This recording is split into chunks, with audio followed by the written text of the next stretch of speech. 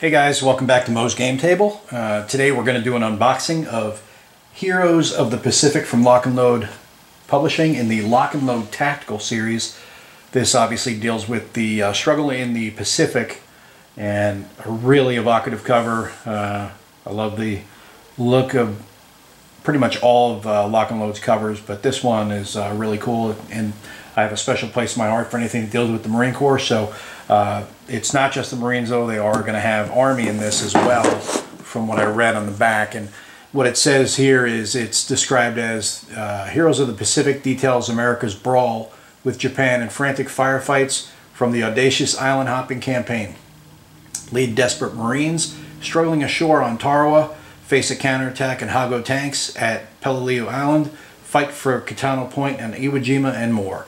So there's plenty of uh, good action here. If you're a, a World War II Pacific Theater fan, there's not a lot of love out there for the Pacific Theater. There's a ton for the ETO, uh, both both the East and the West fronts, but uh, not as much for the Pacific. But this is your answer if you're looking for that in the Lock and Load Tactical Series. So we're going to open it up and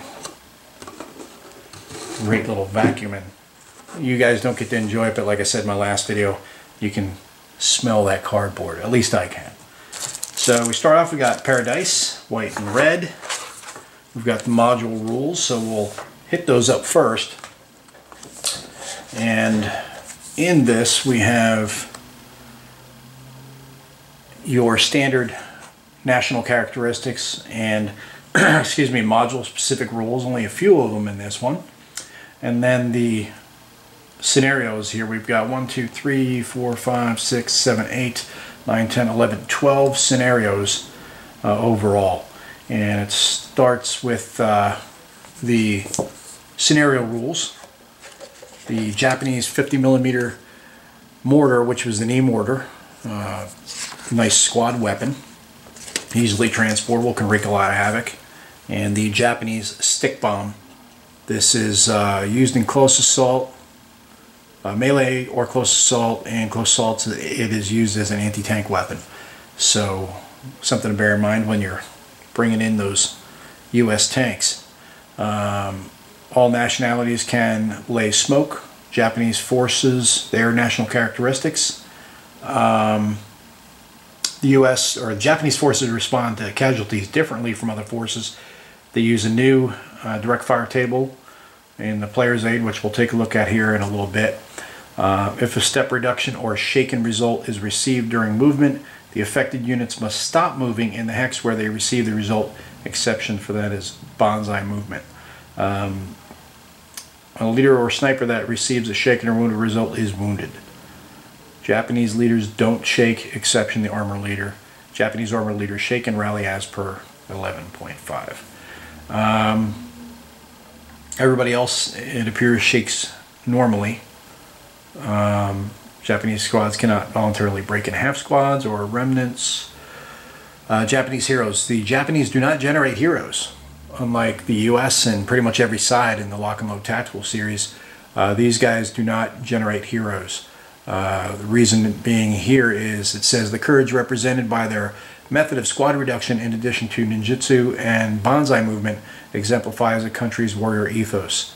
The Japanese were not about individual heroism, they were devoted to supporting their idea of the greater good. So that explains why there is no Japanese heroes. You do have Japanese snipers.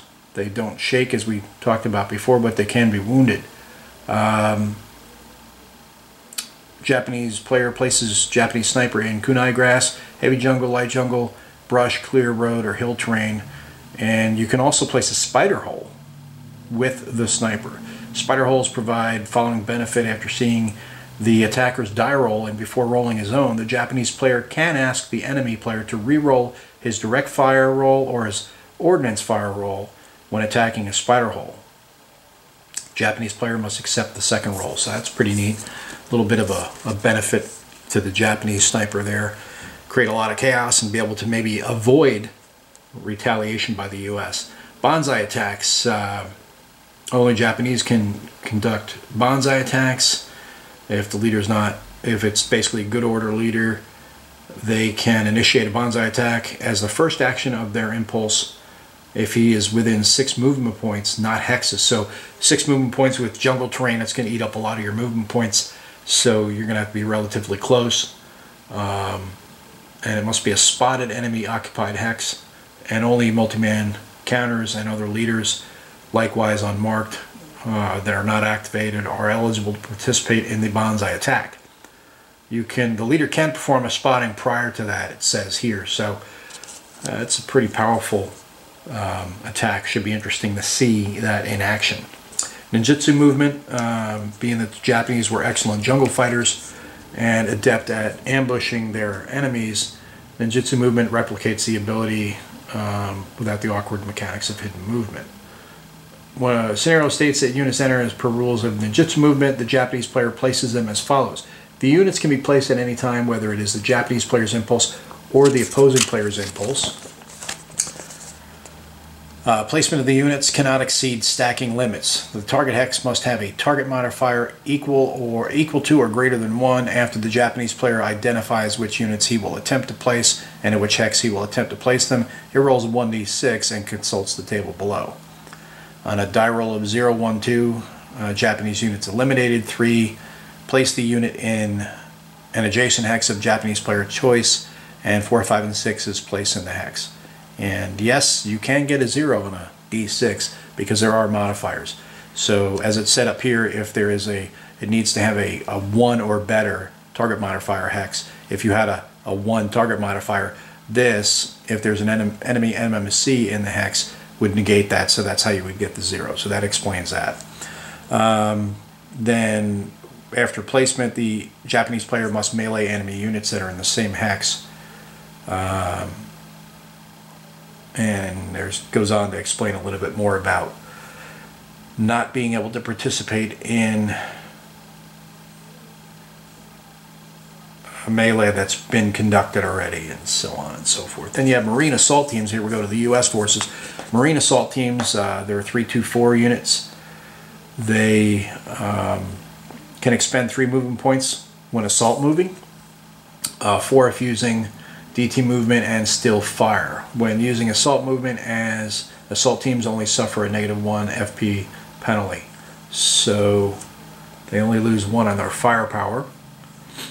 Um, they cannot be op fired on in the first hex in which they enter the enemy's LOS unless they are adjacent to the enemy. So if you try moving up adjacent, um, and think that you're going to get past, you're not. You're going to get, uh, you'll get that one movement, but any follow-on hexes that you move through there are going to be open you up to op fire. Um, then you have U.S. Army rifle squads, um, and the LVT-4s. Crews don't abandon them. They're open-top vehicles and can be targeted by enemy small arms fire. And then, of course, you have bombers. You have the G4M Betty. It attacks with an FP of 8 and the six adjacent hexes with an FP of 4. So it's half strength on the, it's, it's full strength on the initial target and then the supporting hexes get a 4 FP. Uh, there's star shells in this as there are on others. There's bunkers, caves, uh, tunnel movement, collapsed entrances. So there's also emplacements. So quite a bit there. So let's take a quick breeze through these scenarios here. We've got uh, raid on Taivu and Guadalcanal. U.S., the, the Marine Corps and the Japanese, and then Guadalcanal again. And this time it's the Army, 164th Infantry, against the Sendai Division of the Japanese 29th Infantry. And Guadalcanal one more. This one is again the infantry, 132nd Infantry against the Japanese 2nd Infantry Division. And then we have Tarawa and 2nd Marine Division. You get Wildcat Strike and you'll be facing off against the Special Naval Landing Force, which a lot of people consider the Japanese Marines, but technically they weren't. Uh, they were just a special naval landing force, but soldiers from the sea, I guess you could still consider the Marines uh, if you wanted to. Uh, we're at Tarawa Atoll again here with the six Marines and the SNLF and Dutch New Guinea and that's the Army against the Japanese, Saipan, the Marines against Japanese, Peleliu, the Marines against the Japanese, and again on uh, Peleliu, and Nishi and Iwo, and we're in Okinawa now, towards the end of the war. Uh, I got a kick out of this one. I want to take that ridge. And yeah, you may think Wana is misspelled if you don't know about Okinawa, but Wana Ridge is in Okinawa. Um, pretty clever name for a scenario. So that's the module rules, and you have the core rules manual, which everybody already knows about. If you have played Load Tactical, you know that rule manual pretty well already. And we've got counters, we've got some maps, and we've got plenty of player aid cards, as we tend to have in the tactical series. You need them. These these are really well done. These are great. I love this giant fold out uh, style of player A card. It really makes it easier to just lay them out, re uh, reference them, and read across. You don't have to squish as much information in. You can you don't have to have a hard time reading it because there's notes that go along with different um, aspects of the terrain. And on the other side, you've got your DFT table, for the U.S. and the Japanese, they actually have two separate, and the ordnance fire table, of course, as well. And then you have your sequence of play and your weapons and ammo targets. Uh, if you've uh, played tactical before, you got John Wayne up here to oversee that, and make sure that you know what you're doing. Sergeant Striker, um, and yes, he is Sergeant Striker. So good uh, call out to Sands of Iwo Jima if you've not seen it. If you've not seen it you're a wargamer, shame on you. Anyway, back to this. We got sequence play. I like how this is laid out. You know, it gives you the, a nice breakdown to, to remind you of what everything uh, is for each procedure and then the section of the rules that you can reference if you're not sure on. Uh, skill reference cards, we have five, uh, 11 skills overall and that is for your heroes and any that may be assigned in the scenario. And then you have your rule reference card that breaks down everything that you need as well as the uh, which this here if you're if you're not familiar with lock and load tactical it may seem like a bunch of gobbledygook but this uh, legend really does help you break things down and understand it at first you're going to be referencing the rules but once you've uh, picked up the rule, this is all you really need. It's uh, a good way of laying things out. And then of course there's your uh, turn track and victory point markers as well. Really like that style. And let's take a quick look here before we go to the counters at the maps. There are three, four, five of them. And of course, as you'd expect, You've got heavy and light jungle. You've got some villages, uh, some hamlets, as well as some buildings. And there's a closer look at the jungle here. And then we've got a hill here. This would probably be one a ridge, I would assume, for that scenario. And then for the times when you need to storm the beach, you have your beach map that you can use. It's like all these other maps, They're, everything's geomorphic and works well together. And you can make up your own scenarios or use the ones that are supplied. So these are the standard um, administrative counters that you normally get uh, with Lock and Load Tactical. There's some new ones here. Banzai is new in Tunnel for the Tunnel. And what else? Uh, trying to see what else I can pick up. Caves. Um, and of course your wrecks and turn initiative marker. Uh, all that is in there. And then of course you have your mines and the open, which I'm not a big fan of uh, using the open um, or closed, uh, buttoned up or open turret for tanks. Uh, tanker's generally going to be unbuttoned. The only time you button them really is if you're undergoing a gas attack or NBC attack or um, artillery, airstrike, things like that. Other than that, you're going to stay open because you need situational awareness to look around. So that's one of those rules I don't like messing with. Here's the U.S. counters.